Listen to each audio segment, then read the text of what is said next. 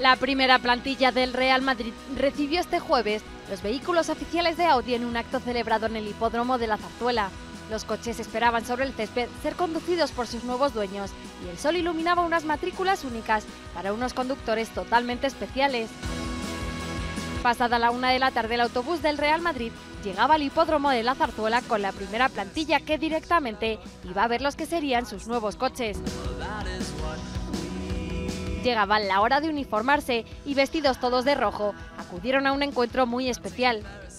Los jugadores del primer equipo conocieron y compartieron impresiones con los jockeys de 11 caballos pura sangre a los que Marcelo observaba atento.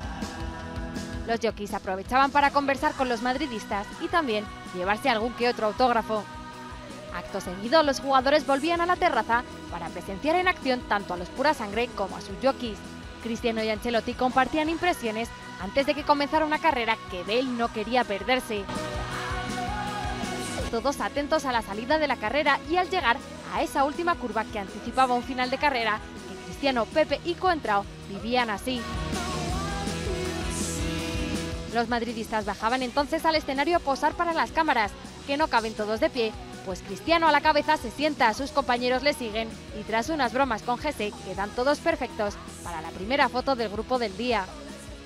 Llegaba su turno, la hora de ponerse al volante para realizar divididos en dos grupos, dos circuitos a los mandos de distintos coches, Audi, por supuesto.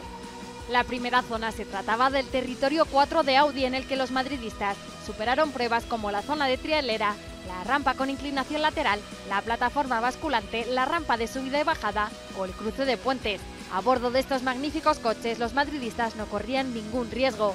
En la segunda zona les tocaba demostrar su agilidad al volante, se trataba de un circuito off-road diseñado para la ocasión. En él se divertían Casillas y Di María y Real Madrid Televisión vivía desde dentro lo que sucedía en el coche conducido por Diego López.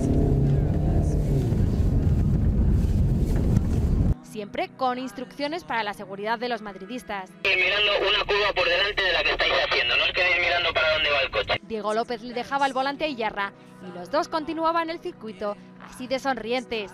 Montados en el coche con Ramos e Isco de copiloto, el segundo capitán del Real Madrid demostraba disfrutar con el circuito.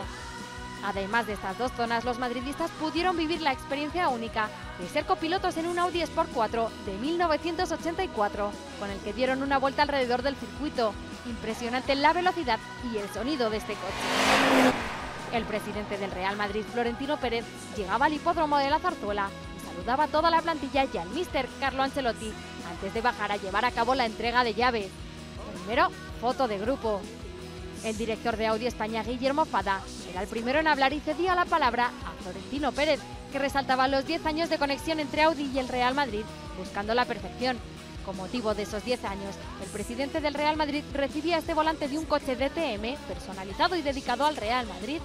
Florentino Pérez, por su parte, y entrega de una camiseta del conjunto madridista con el 10 a la espalda Guillermo Fada y otra a Daniel Weisland, responsable de Audi para el mercado del sur de Europa. Acto seguido, la plantilla al completo del Real Madrid fue recogiendo sus nuevos coches. El primero, el capitán Iker Casillas, que elegía, al igual que 11 de sus compañeros, un Audi Q7. Distintos coches de distintos colores para todos los madridistas que posaban felices y orgullosos antes de arrancar por primera vez sus nuevos Audi para algunos la primera vez que lo recibían en el Real Madrid.